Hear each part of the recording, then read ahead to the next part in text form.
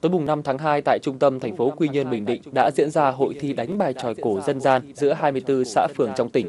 Tham dự lễ hội này, khán giả Bùi Sinh có số điện thoại 0979 bao số cuối 056 có cho biết là với những giọng hô bài tròi mượt mà, đầy ý nghĩa, xen lẫn tiếng nhạc cụ du dương, hội thi đã thu hút rất đông khán giả đến xem và cổ vũ. Hội đánh bài tròi gồm có 9 tròi làm bằng tre, lợp tranh, được bố trí hình chữ nhật theo hai dãy song song, đối diện nhau. Mỗi dãy có 4 tròi, từ tròi số 1 đến số 8.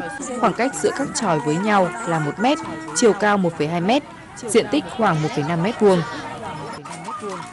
Mỗi tròi trang bị một chiếc mỏ che già.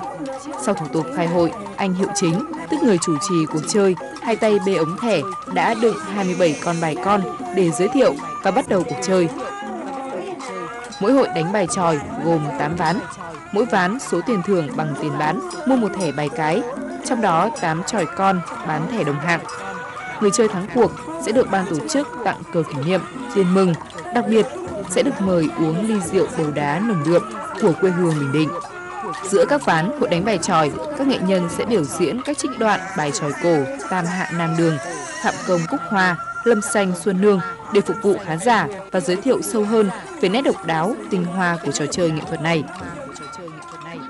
Cái bài tròi Nếu quý vị nào còn muốn một thẻ nữa thì chúng tôi sẽ tiếp tục phát hành một loại thẻ màu đỏ để chúng ta chơi cùng một lúc và hội cho vui. Nhưng mà đặc biệt là nhất là ngày Rồi đây, à, Tết vì dân tộc của ơi, ngày tổ chức à, Tây Ngọc tặng tay vàng rút một thẻ rất là may mắn trúng thưởng trong nhóm này. trọng Rồi, hay quá. tổ chức để Rồi. à, vừa phục vụ Mỗi chiếc thẻ như vậy thì chỉ có mệnh giá là 30.000 đồng.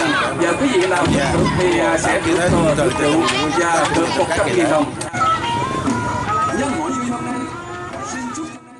Theo khán giả Bùi Sinh được biết thì trong quý 1 năm 2017, Trung tâm Văn hóa Thông tin Truyền thông thành phố Quy Nhơn sẽ thường xuyên tổ chức hội đánh bài tròi cổ vào mỗi tối thứ Bảy và Chủ nhật hàng tuần để phục vụ cho người dân cũng như du khách khi đến với Bình Định.